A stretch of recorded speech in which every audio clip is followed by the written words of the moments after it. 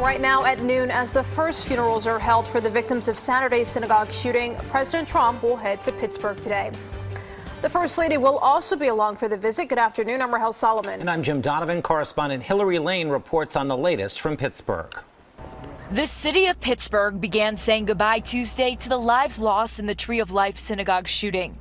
Members of the Pittsburgh Steelers were among the mourners at the funeral for brothers David and Cecil Rosenthal. Also being buried today, Dr. Jerry Rabinowitz. We will honor them in some way that distinguishes them to get beyond this atrocious act. President Trump and the First Lady travel to Pittsburgh today to pay their respects to the 11 victims and visit the injured first responders.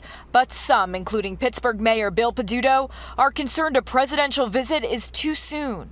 The last thing I want to see is while these families are burying those that they lost, that there are protests and streets being closed and other things that are taking away from the most important thing that we can do, which is honoring the dead. The remaining eight victims will be buried in the next few days. It's tradition for Jews to be buried as soon as possible, but because of the investigation, the families had to wait several days. Suspected gunman Robert Bowers was in a wheelchair during his brief court appearance Monday. He faces numerous charges, including federal hate crimes, which could carry the death penalty. Hillary Lane, CBS.